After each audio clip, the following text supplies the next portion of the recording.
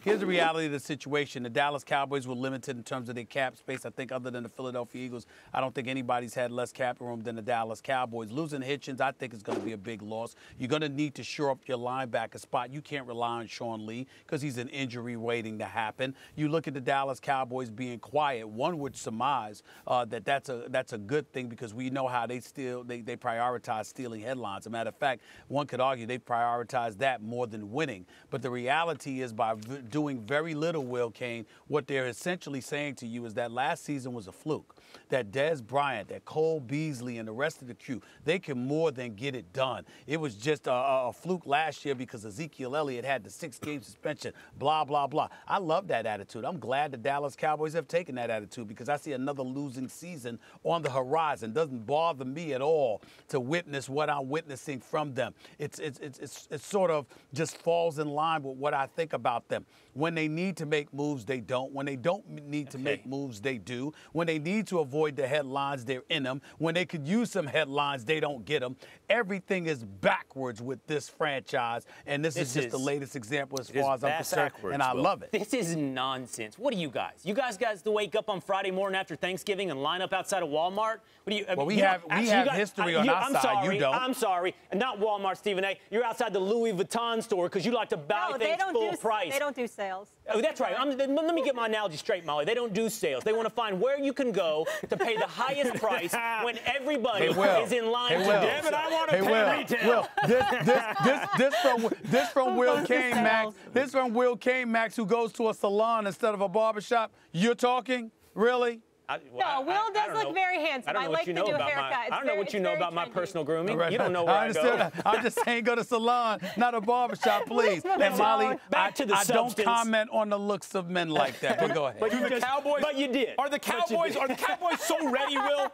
Are the Cowboys Listen, listen, on, so Max. ready that all they need is the draft and, and they're good? they don't need to sign anyone. This is the point of my analogy. You guys line up to spin full boat the first two days of free agency, and you celebrate the teams like the Browns who signed 10 guys. You Well, they're here's- pathetic. let me tell you Celebrate. That's a I'm not This is my celebrating the point. Browns. We're two days into this thing, okay? The Dallas Cowboys aren't done. There are reports that they're interested in Ndamukong Suh. I hope they don't go pay full boat for Ndamukong Suh. I hope they shop in the discount aisle. By the way, there's also reports out there, according to Mike Fisher, a Cowboys beat writer for 20 years, that they're interested in Earl Thomas. And this is a real thing a trade between the Seattle Seahawks and the Dallas Cowboys. The Seahawks reportedly want a first round pick. No thank you on the first round pick. Yes, thank you on Earl Thomas. The point is shop, but shop smart. You guys are out here getting mad at them because they're not running out there I signing see. Wait, Dion on Stephen the A., first day. I understand now. I understand now.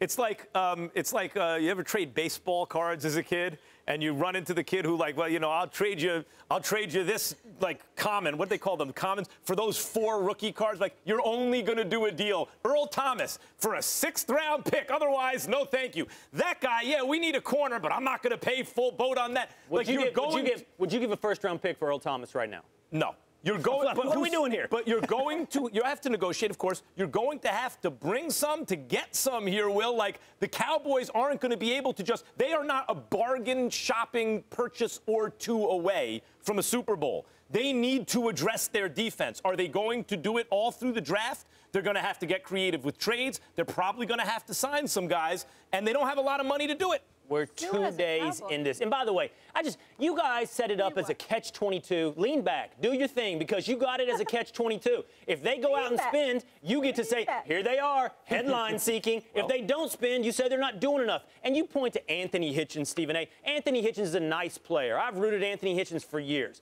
But $9 million a year, 30 million guaranteed, price matters. Maybe not when you're in the Stephen A. Smith category of, you know, commentary and analysis and reporting, but for most people out there, price matters.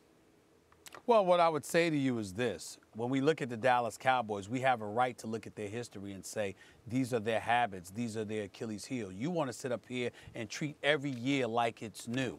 And you want to ignore bad habits that have served this that, that have not served this franchise well. And that's all we're talking about here. We're not talking about the typical team. We're talking about the Cowboys who are an accident waiting to happen, who find a way to get in their own way. And we dissect why that is and some of the evidence that is point that, that you point to, that Max points to, or anybody else. We have points. You just refuse to accept the obvious because you're emotionally tied to this franchise. I and have it's okay. had more substance in the okay. last 10 minutes than you have had on your Dallas Cowboys commentary in the past five years.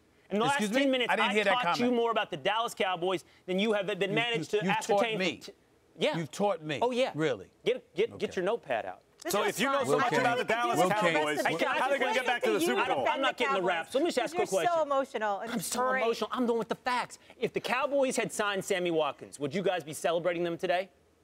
No. No. Oh my God. I don't know what So Sammy how do they win with you guys? left. They don't. No, no, no, That- that- that- that- that that's the whole point. Will. It's just they like never the win. They, playoffs. ne- They they, don't. ne- they never win. They Don't never you have a win three-hour with me. show to do? Yeah, All I right. got. All right. I We'll, got- I got Go ahead and to do it. Go ahead and sing Giants about the got a left Cowboys. tackle, though. Good we'll see you on the Will Cain show. I like the haircut.